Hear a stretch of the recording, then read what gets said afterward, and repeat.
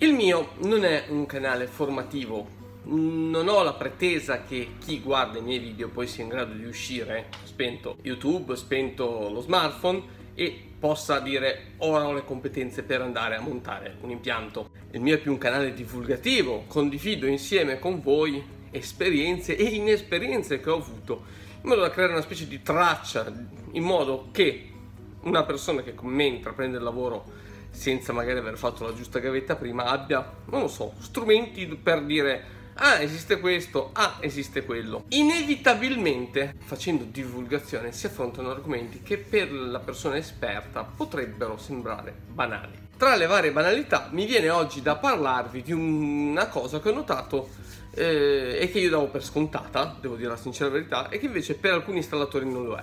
Qui da noi vanno molto le centrali con la ricevente radio a bordo per essere compatibile con periferiche via radio, tastiere, sensori, sirene. Questo succede perché abbiamo molti appartamenti piccoli, impianti dai 5 ai 10 sensori sono piuttosto comuni, piuttosto frequenti e quindi effettivamente anche una centrale con la ricevente a bordo si presta bene a questo tipo di lavoro. In questa singola settimana che è appena trascorsa, due installatori diversi mi hanno chiamato dicendomi che con centrali tra l'altro di marche diverse, avevano problemi di copertura radio rispetto ad alcuni sensori. Uno dei due impianti che ho venduto era piuttosto distante, ma l'altro era a poche centinaia di metri da qua e ho deciso di andare a vedere di persona. Se c'è una cosa che è nemica della nostra professione, è l'abitudine.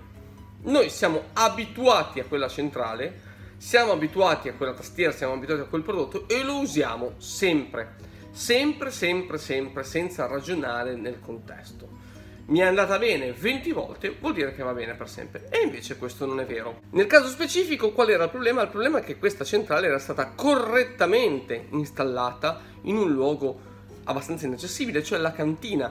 Ma è chiaro che una centrale con la ricevente radio a bordo va messa in un posto sì nascosto ma testualmente permette alla radio di ricevere bene, quindi che sia più o meno equidistante da tutte le periferiche via radio. È chiaro che in questo caso le periferiche all'ultimo piano di questa villetta non potevano funzionare bene. Era già un miracolo che funzionassero. Una centrale con la ricevente radio a bordo, proprio perché ha la radio a bordo, va messa in un posto dove la radio può prendere bene, in un luogo quindi che sia studiato con un minimo di cervello. Qual è la soluzione? Rinunciare al buon senso di nascondere la centrale allarme? Neanche per idea. Esistono centrali che magari hanno la radio a bordo, ma che contestualmente sul bus delle periferiche possono avere un secondo ricevitore radio per andare a potenziare il segnale laddove non ci sia la possibilità di riceverlo con la radio principale.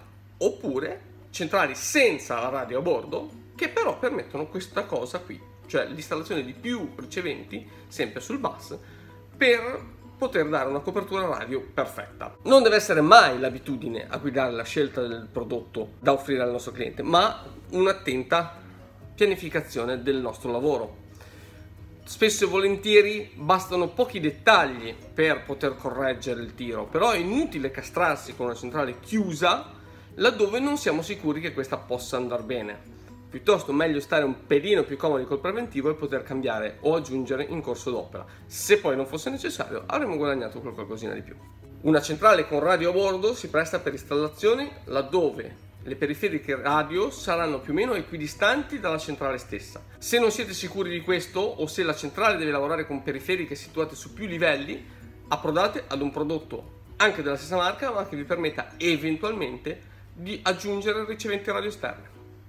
Tchau.